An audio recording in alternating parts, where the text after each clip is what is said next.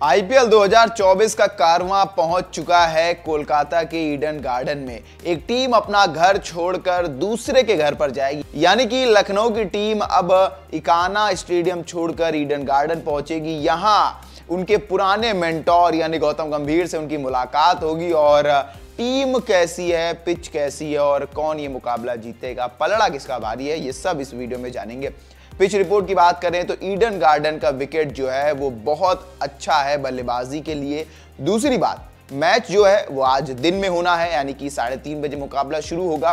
तो ना तो ड्यू की झंझट है और ना ही बॉल गीली होने की। यानी कि बॉल जो है वो सूखी रहेगी तो स्पिनर्स को मदद मिलेगी और दोपहर का मैच है तो स्पिनर्स को ज़्यादा मदद मिलती हुई नज़र आएगी। साथ ही साथ जब छः सवा छः का समय होगा तो अंडर लाइट्स बॉल आपको थोड़ा सा स्विंग होती हुई दिख सकती है।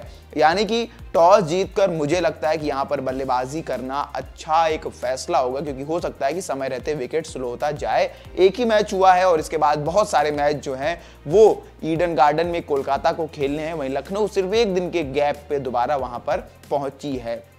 बात की जाए प्लेइंग इलेवन की तो लखनऊ की टीम में मुझे लगता है कि बदलाव हो सकता है कि मोहसिन खान वापस आए और शायद मयंक यादव को खिलाया जाए, पर जैसा कि के राहुल ने कहा कि मयंक यादव अभी पूरी तरह से फिट नहीं है तो शायद वो नज़र नहीं आएँगे। तो अगर मोहसिन खान नहीं रहते तो फिर उन्हें अरशद खान के साथ ही जाना पड़ेगा। और एम सिद्धार्थ आपको नज़र आएँगे।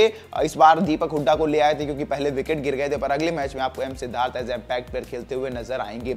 बात करें अगर के के प्लेइंग इलेवन की तो इसमें कोई बदलाव होने की गुंजाइश नज़र तो नहीं आ रही है क्योंकि हो सकता है हर्षित राणा आपको खेलते हुए नज़र आए, पर वैभव अरोरा ने उनकी कमी महसूस होने दी नहीं है। पर वैभव अरोरा की जगह पर अगर हर्षित राणा फिट होते हैं तो वो खेलने आएँगे। मिचल स्टार्क, अरोरा, उनके साथ साथ आंद्रे रसल और हो सकता है कि आपको स्पिन में भी वही नज़र आएगा। यानी कि बदलाव होने के उतने चांसेस नहीं है। नीतीश राणा अगर फिट होते हैं तो फिर हो सकता है कि वेंकटेश अय्यर बाहर जाए। ऐसा संभव है।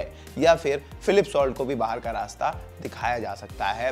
पर अभी राणा जी की वापसी पर थोड़ा सा डाउट है। बात करें टॉस प्रिडिक्शन की तो मुझे लगता है ये टॉस है, वो श्रेयस अय्यर जीतेंगे और पहले बल्लेबाजी करने का फैसला करेंगे। और पलड़ा जो है वो थोड़ा सा के के का भारी है क्योंकि मेंटोर गंभीर को पता है कि एलएसजी की ताकत और कमज़ोरी क्या है। तब तक के लिए आप देखते रहिए वर इंडिया हिंदी।